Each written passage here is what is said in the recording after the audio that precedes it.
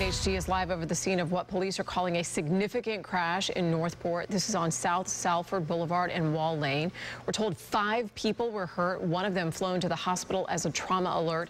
Salford Boulevard is shut down and police are not sure when they will be able to reopen the road, so you will definitely want to avoid that area.